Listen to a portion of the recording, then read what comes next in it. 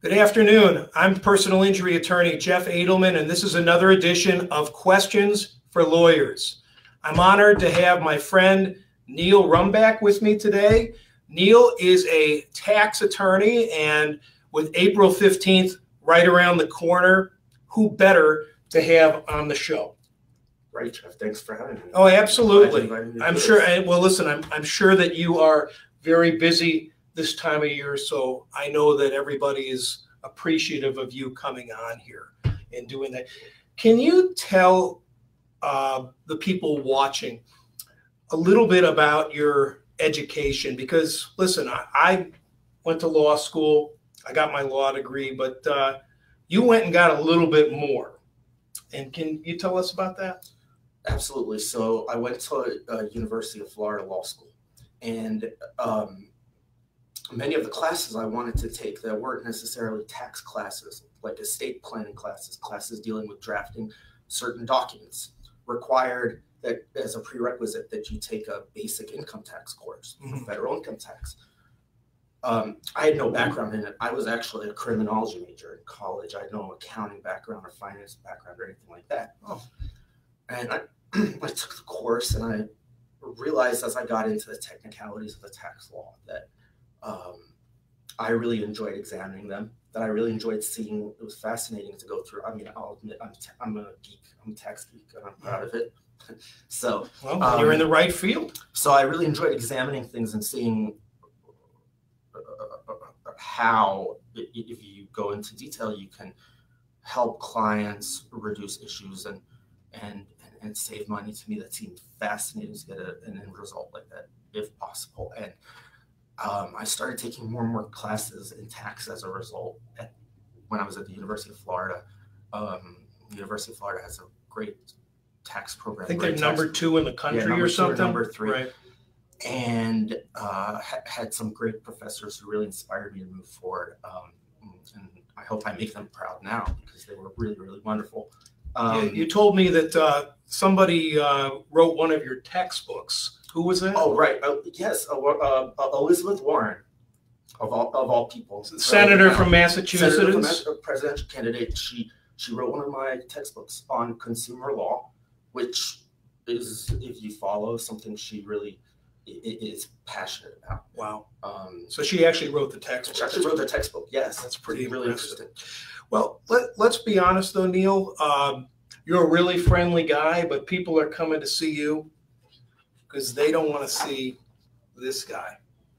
IRS. Yeah, I couldn't resist it. I'm a wrestling fan. I don't know if you remember this guy. Yeah, this is right. the Irwin R. Schyster. Correct. Okay, he's coming to um, put a tax lien on your property. You are there to protect people from the Internal Revenue Service, correct? Correct. Okay. What can the IRS do to you if you don't pay your taxes? Right. So I'll just and I'll, I'll go back quickly to also say that when I finished up, then I went to the University of Miami. I got my uh, master's of law and taxation.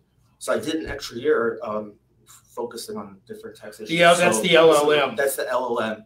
So that's um, and, and and so I came out with a, with a, a- got a lot out of the program, got, gained a lot of knowledge. Now, um, I just wanted to point that out. But no, no, I, and I appreciate that, and, and that's really that's important because um, you don't just have a Florida bar, you don't have a, just a degree, a JD, but an LLM in taxation um, that gives you that extra expertise in tax law. That's why I asked you to be here. But getting back to getting back to our uh, that scary IRS, if you don't follow the rules, um, what can the IRS do to you? Well, the IRS, um, I see as a possibly the most powerful uh, co- collection agency, um, maybe in the world, but certainly in the United States, Sure. and uh, uh, has the backing of the federal government behind them. So they have a lot of power. Um, uh, taxpayers have rights, but at the same time, if you don't pay your taxes, they can assess back taxes, and then they can also go and um, whatever you don't pay, then usually is subject to interest Mhm. that uh, compounds very, very quickly, and then uh, civil penalties um, eventually it could get to the point where uh, they do actually collect on you. Um, they can actually get a hold of your bank accounts if they find the information and garnish your wages. Um, they could actually, if you have a car, they could just show up and repossess it. You know, uh, it, it, usually doesn't get to that point, but collection, and then it, it, you know, immediately when you owe taxes, you also um, the IRS will usually file a notice of tax lien um, in the county records. They're not a good enemy to have. So they're not a good enemy to have. And then, really, if you're extremely egregious, then we're dealing with the the, the penalties get much much worse. But we're also dealing with uh, with uh, criminal issues. Absolutely, which is something to have in mind. It, it can be a very very serious thing. Well, don't they always say uh, the police they could never pin it on Al Capone, but at the end, the tax man got Al Capone. That's exactly Isn't that right? right? Right, and it's come up now again with uh, you know um, with that college admission scandal and and and, and, and Becky, you know, where they're saying that uh, Lori Loughlin that they're saying that well, you know, they could have committed some tax fraud there too. Wow, and it's going to be very very interesting. So, to a certain extent, the services that you offer could keep somebody out of jail. But to a certain extent, yes, and I think that's always always important to keep in mind, even if it it doesn't appear likely. Um, and it's important to consult with a tax attorney in addition to an accountant or someone else because tax attorney has, as an attorney, um, a much broader scope privilege. So things you tell an attorney, um, many more things you tell an attorney are protected from uh, admission in court or at, at, in an agency. Um, uh, uh CPAs have some privilege, but nowhere near as much as attorneys. So, um, if you really want to have open dialogue and, and really figure out the best way to approach your situation, it's good to involve an attorney. Many times, CPAs uh, with whom we work will say to the person, "Hey, you may want to talk to an attorney on this issue." What would you say one of your biggest referral sources would be CPAs? Yes, absolutely. We, we definitely refer back and forth. Now, I understand that you you came bearing a gift for me today, which. Um, yeah, Jeff. You know, um, what what is it? Neil? Um, yeah, you know, it looks like this came in. It looks like you've gotten been audited. Oh my goodness! Look at this. It's an audit. Now, I didn't really get audited. This is a real audit, though. As you can see, it's a letter from the Department of the Treasury. And this is an actual audit notifying somebody, one of your clients that was audited? Yes. Okay, well, let me ask you this. There's a guy I know, uh, let's just call him Donald, okay? And he says that he doesn't want to release his tax returns to the public because he's under audit. My question to you then is would my f- friend Donald have received a letter like this? Yes, he, he likely would have received a letter, probably many letters. Okay. A certified mail. By a certified um, mail. Usually by a certified mail. It's like uh, the IRS usually will initially contact you via certified mail or via mail at least. So they don't call you up on the phone. Hey, you're under audit. Very, very rarely. You have to watch for recent scams who kind of call you and say that because the IRS is generally not going to operate that way. Right. Um, and they're certainly not going to threaten you with uh, that if you don't pay, you're going to be immediately arrested. You're going to get a piece of paper. Right. Right. right? Correct. You're, you're usually going to get a piece of paper. Definitely, a piece of paper will usually arrive via mail. Definitely, uh, uh, most of the time, I'd say via certified mail, and uh, you're not going to receive um, emails either. So when you when a when a potential client comes to you uh, who's under audit, what is some initial advice that you give them? First thing as a tax attorney that I was taught is to ask if they have them. Um, some do, some don't. Can I see your tax returns um, that that were audited, and maybe a year or two before, maybe a year or two after, depending on it. Take a look at the tax returns. Take a look at uh, that audit that you uh, uh, this thing. My gift when you got audited. um, see what the IRS because the IRS is going to tell you you're audited. So they're going to want to set up a time to meet and resolve the issues, and they'll tell you which items they are examining. When they um, set up an appointment to meet with you, is it like an under oath statement or like a deposition, or is it just is it informal? It is in for it's it, it, it is informal. Um, uh, you, you, you are uh, uh, saying things subject to penalty of perjury. So you are under but, oath. But unless you are summoned, was summoned, receive a summons from the IRS, um, you don't have to be present. So you can have an attorney present for you. Oh, and uh, you know, I, I usually encourage that. yeah, I, that, can I understand think why. that some, um, you know, m- most clients are better off.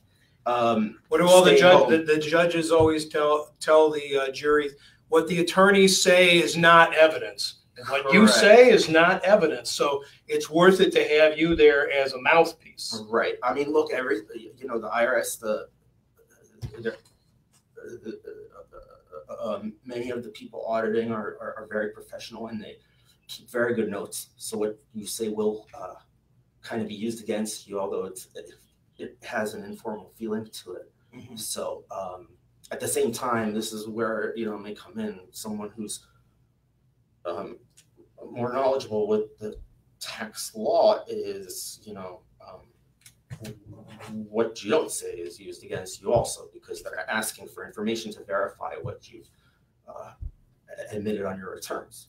Well, so let, let's, let's say to this scenario. Potential client comes in your office. Hey, Neil, I didn't file my returns for the past five years.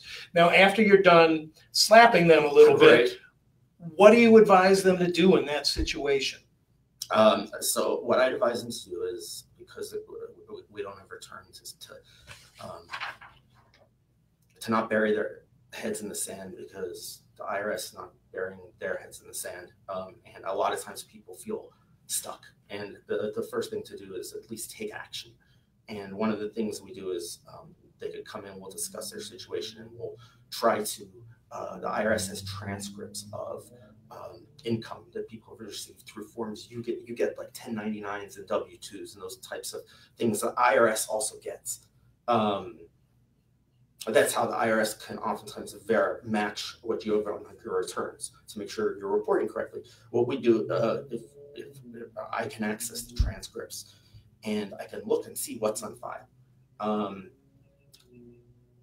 and then from that, we can determine whether they needed to file their returns. They usually do. Sometimes, actually, you know, they don't, or sometimes it works out in their favor to file a return because perhaps they're entitled to a loss that they didn't notice. And other times, they would have to pay and they would be subject to a significant amount of penalties. But you have to kind of start somewhere and work through it. And if you have to set up some kind of plan with the IRS or whatever it is, um, it's important to do that just to keep yourself in compliance, um, both civilly and also not to prevent further problems in case you know anything can happen. If I can paraphrase, it's almost like if you're if you're in that situation, you're almost better off falling on the sword and saying, "Oops, I didn't do it. I'm going to start doing it," rather than continuing to go into year six and year seven not filing an income tax return. Correct. So um, that's what I do. But but the, the transcripts are kind of where I start. If I don't have a tax return first, I contact the IRS or I can access the transcripts online if I have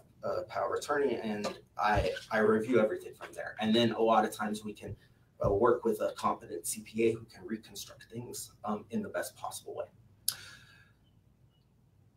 Audit is a very scary word, which is why I keep saying it because it, you know, scaring people gets people to watch, I suppose. But uh, uh, can is it unusual for somebody to get audited? Like, for example, should every person watching here expect at least once in their life they're going to be audited, or is it somewhat unusual?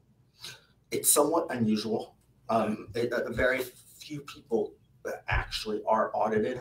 Um, so, so most people um, are are not audited. Um, it's usually something we don't know exactly how the IRS. In some ways we do, but in a lot of ways we don't know exactly how the IRS figures out an audit. They have a kind of a secret formula. Um, but something wasn't right on their radar, and they're looking into it. Um, and it, it's a very small percentage of people. Um, what a It's lot good of to people- know. Yeah, it's good to know. Um, it's also good to know that audit. Sometimes they'll use the term examination, and it's pretty much the same thing: audit and examination. Okay. Um, I know that confuses a lot of people. It confused me initially too. Um, but uh, although not an audit, a lot of people consider when they receive some kind of notice from the IRS to say, hey, you know, um, it's not an audit, but it's something saying, um, hey, you know, our records show that there's a They go, 1099 you, you. yeah, there's a 1099 for twenty thousand dollars, um, and, uh, and and and you haven't reported it for 2018. You know, if if you owe this amount, you know, with penalties, they'll compute interest. Please pay it. If if not, please let provide us additional information. Um, you know, that happens much more frequently, but that can be resolved much easier than um, an in-person audit or, or even an audit via some audits are actually done just via mail-in. They don't actually involve an agent, uh, uh, an in-person agent. At the end of the day, Neil, if somebody is coming to see you, a mistake has been made. Can you tell everybody how they can avoid getting audited by the IRS? There's no uh, exact way to be audited. What you want to do is, in, in case you are, uh, first of all, follow all the rules, um, follow all the tax law. Make sure you have really good uh, preparers that you've tax return preparers, accountants that you've researched and you know that they're good and um, and uh, you know they're all available their information is available online and make sure that you know you don't have any that they that they actually sign the return with their names. Otherwise they have what we call they call them ghost returns where they'll just say here we prepared it. Here you go. And then they're usually some kind of scam because they'll take a percentage of your refund which you're not allowed to do. That's how they get paid and they figure out how to enhance your refund. But what you want to do So is- any, any, Right. any uh, tax preparer that's saying that they would take some of your refund, right run. Correct. But what Okay. you want to do, what you want to do is follow the law very well, work very well with a CPA who follows the law, um, possibly run a question past the tax attorney just to be sure, you know, if you want to. And Um, if anybody here has a question about who, like uh, for CPAs, uh, who would be a quality one, you know Oh, several. CPAs Some very- yourself. Some great CPAs. Okay, so they could call you and ask. Absolutely. Okay, before I forget, what, what's your telephone? number? Yes, so it's um you can either call me at 954-944-3929 or um 561-948-2298. Okay, one. And Um, we'll post it on there Right. as well. right. But you know, if somebody's has some questions about their tax preparer, their CPA, you can refer them to a competent uh, Oh, CPA that you trust. Absolutely. Um, I think the other thing is, you know, how to avoid getting audited. That's the first thing. The second thing as well, you know, you want to keep very, very good records um, of your income and your expenses, uh, receipts, or whatever else, uh, in case you're audited. So you can provide that information if it comes down to it, and then you, know you can sleep at night um, knowing, you know, that uh, you have the information to back you up. Um, Well, that's it's So- always good to have the backup. So right, as a, as a, as a, as a In back- anything, that backup plan is, is very very important because uh, if you see this audit that, that you got here, right? Mm-hmm. So um, a lot of the things that people don't have uh, uh, documentation for, you know, Mhm. employee expenses, um, probably they went out to eat and that kind of thing, um, at- at- for business um, as an employee, and uh, they didn't keep their receipts and say who they were, uh, you know, with whom they were eating and what uh, the meeting was about.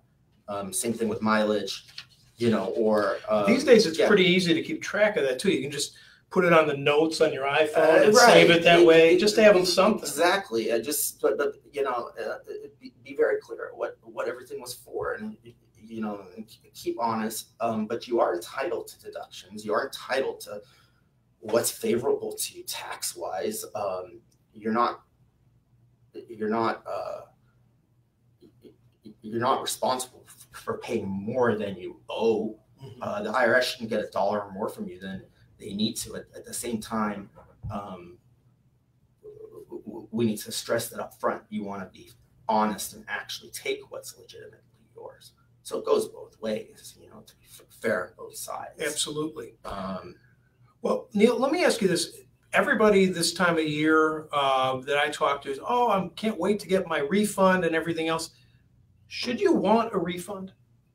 What does it mean if you got a refund? What it means if you got a refund, this is a very uh, interesting situation because uh, as of now, the numbers are showing that there are less refunds this year and uh, the refunds are smaller. So I'm sure a lot of us have been affected by that. A lot of people depend on refunds and see it as a really nice bonus for them to mm-hmm. uh, spend and you know vacation or additions to their home or whatever it is, and they're seeing le- less of it. But actually, um, if you got a refund, it means you overpaid the government during the year um, from your withholding from work or whatever else when the IRS withheld taxes. And they were able to have that money instead of you and maybe put it into an interest bearing account instead of you during those years when they were receiving all that money. And then now they're giving it back to you. And you could have received all that money or at least had that money on hand. Um, that being said, people seem to be uh, so you actually don't want a refund. You want to be as close to zero, owe, owe as zero tax as possible. Right. Not a refund, but it's very hard. People we, we tend to really like the refund and are willing to kind of say, okay, fine, um, we'll we'll let the government have the money, um, and we'll be happy when we get a refund. So it's not a bonus; it's your money. It's not a bonus at all. It's your money. It's your money. Um, but people uh, we become very attached in a way. I've joked with other prof- tax professionals to say we become very attached to our refunds. Um, I'm sure a significant part of the CPA's job um, is during tax season and afterwards are get you know emails and calls from people saying, "Where's my refund?" Um, so those refunds mean mean a lot to people. They really shouldn't, but no matter how many times you say it, it, it doesn't seem to, to seem to matter. Uh, uh, right. So actually, like uh, this year, if the refunds end up being lower and there are less of them, it was actually beneficial to to to us as as U.S. taxpayers, right? Uh, uh, because we got less of a refund, we paid less with with with, with uh, less taken from our withholding, and the, the government it was detrimental to the government, right? Because then um, they didn't get as much withholding that they could have used, right? Maybe to pay down some of our deficit uh, during that year. But we weren't happy with it. And they gave something that the people didn't like. So it was a lose lose in a way. Um, although it could have been turned into a win win. Yeah. Um, but people just love their refunds. And if we love them, you know, better to have the money better all, have all year than, round than, than and, we and the government we, have the money too. Thanks for my um, money back. Um, well, that's how I see it. Yeah. Yeah. But. Let me let me bring something up that pertains to my business as a personal injury lawyer, and I always tell this to my clients. Personal injury proceeds. You're involved in an auto accident and you get a settlement are the proceeds that you receive, the net proceeds, are they taxable? No. They're in almost taxable. all instances, they are not taxable. And in fact, the medical bills that you have to pay out of the settlement, are those tax deductible? They are tax deductible, absolutely. Um, so I've been right all these years. Good. Well, yes. I mean, you have to. You know, it's an interesting discussion because tax deductible meaning you know you still may have to meet certain standards to be able to take those deductions, but they are absolutely taxable. You should certainly give it to your CPA. Absolutely. Okay. Especially, you know, I'm sure you get people who have very significant um, tax bills. Yeah. I mean, sorry, uh, medical bills. Oh yes, sometimes. And, and sometimes and, you know, sometimes smaller, but sometimes they're monstrous. Correct, yeah. and and and those may very well be uh, a, a, nice tax benefit. Yeah, that's why I always give the, the checks Absolutely. the checks to the clients. Absolutely. Now, Neil, I can't thank you enough for your time today, but I want to ask you real quick, and if you could make it very clear to anybody who's listening or watching, who is somebody that needs to hire somebody like you, a tax attorney? Who is, who would be somebody who needs, like you're at your type of client? Because not everybody needs a tax lawyer not everyone needs a tax lawyer. I think that if you feel upfront that you um, want to be open and say uh, and, and, and have a matter that you think may be beneficial to be privileged, um, you may want to just pick up the phone and call and see, and perhaps we could have a, a consultation. Perhaps you're entering into a business agreement or um, making some kind of gift to someone or um, some other personal transaction. You just you, you want to be sure. That's in the front end, and in the back end, uh, you know, if you do have IRS tax issues, if you owe IRS penalties, um, if you owe back interest, if you have back taxes, if you haven't filed returns that we've discussed, a lot of those things we can um, resolve or we can make better. Sometimes we can't, um, but at least we're moving forward. But you know, a lot of times the penalties we, would be able to abate, which would then lessen the, the interest. We may be able to look at your information and find that you, by filing a return, you actually are owed money from the IRS. So those are the kind of people, if you're facing um, immediate collection issues from the IRS, um, you know, they're sending you a notice saying we're going to levy on your assets. If you have received a, a, a, notice that they filed a tax lien, a notice of tax lien on you, and you see that it's killed your credit score, um, we may want to see if there's a way that we can have it get that were removed and withdrawn and removed from your uh, credit history. Um, I know, and you know, in Florida has the homestead law. Um, homestead law will not protect you from the IRS, will it? It will not. No, that's what I thought. How do you charge for your time, Neil? That's what people want to know. Yeah, that's always a big question. Yeah, right? it always comes yeah. up, and then I say it depends. But can you give us kind of an idea of what goes into determining a charge your services? Sure. So I'll, I'll talk to someone on the phone or, or, or sometimes via email about, about their issue, and sometimes I'll take an initial review of their documentation from the IRS or tax returns. Um, I'm not going to charge for that time. Then, I, if it's something that I think we can help uh, help on, we'll, we'll, do a consultation. Um, we'll, we'll, say it's an hour. It usually goes a little longer, and that's okay. And I charge three hundred dollars for that um, at this stage. And then uh, perhaps we can resolve the issue within that amount of time. Then we, if we can't, we'd have to set up some kind of retainer agreement. Um, you know, just depending on how much, whether it's a thousand, whether it's 2500 um, or more I, you know because um, you never know with the irs and you never know with the tax law what's going to happen um, so that's how and that's how i charge and then i have to kind of work with people as we go as to how um, they they will pay because i can't put a cap a ceiling on how high it just depends what's going on um, in order to do my best job to protect people. Um, to ho- hopefully lower their tax rates and their penalty rates and really protect them civilly and possibly even criminally. Um, I think that that carries a lot of weight.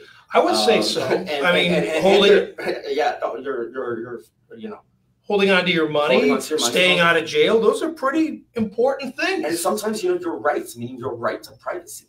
Um, what the IRS can get into that you may want to say, hey, you know, you have no right to go there. So what you're saying is um, that I um, should not friend the IRS on Instagram, even though they have an Instagram. Yeah, isn't it hilarious? Yes, I'm sure to connect with taxpayers and be more friendly. But uh, yes, the IRS does have an Instagram page. Okay, so I'll, I'll make sure. So sure not to like it. I will unfollow it. Although I'm unfollow, although I'm sure it can provide very interesting um, information. Oh, I'm I'm sure. Um, I think I'll call you for that though. Actually, yeah, I get the I, I, get the notices all day of what's going on in real time. So I, uh, well, I'll tell you if anything interesting. well, up. if anyone wants to get in touch with you, can you tell them again how to reach you, Neil? Yeah, sure. So you can call um, my cell uh, or my my phone um, at 954-944-3929 or 561 948 2298. You can also email me at nrumbak at rumbaklaw.com. So that's N R U M B A K at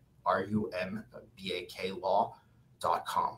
Um, and I'll be happy to talk to you. Well, again, thanks so much for being well, here, Neil. You, uh, this has been a lot of fun, a good discussion. Um, this is Neil Rumbak, tax attorney. Uh, my name is Jeff Adelman. I'm a personal injury lawyer. I can always be reached at 954 341 2777 or email jeff at adelmanlawyers.com, A D E L M A N lawyers.com. I want to wish a very happy birthday to my dear friend Iran Jerez. Happy And birthday. yes, and I also want to wish the Lightning better luck in their Oh, second game. agreed. Last night, I know you were very upset. I'm a, and, I'm a uh, Lightning fan from Tampa, and it was a, a very uh, painful loss and unexpected loss. I think we should probably give a shout out to my cousin Elliot Stern as We well. should. He made a connection many, many years ago. We were at the Elliot, my cousin Elliot Stern's bar mitzvah many moons ago. We did not know each other back then, but we figured it out. Probably what 1993 or so. Something like that. Yeah, I think we all had some kind of hockey theme because we all. I, I had my- I prefer watching hockey. I don't play hockey, but um, know, I was a big hockey fan. Yeah, it was. I had to in '93 because and it was at Busch Gardens, and I Right. think it was the second year of the Lightning. Second, so, yeah, I moved to Tampa the first So, year of Lightning. hey, Elliot. Hey, Elliot. We'll But, give a uh, shout out to you. So, Absolutely. Well, hey, man, thank you to everybody for watching or listening. Um, the replay will be available on the Facebook page, and it'll also be available on podcast, iTunes, Google Play, and Spotify. I'll be with you again next week, April 18th. We'll have Nancy Brodsky on, who is a family law attorney. We'll be talking about collaborative divorce, uh, ways of trying to keep your divorce expenses a little less than what they could be through a technique that she uses, and I'm looking forward to that. All right. Well, thank you again, Neil, Thank you. and um, you know we'll definitely have to hang out after uh, April 15th. absolutely. All right. Yeah, I'm looking forward to it. Bye, everybody. Bye bye.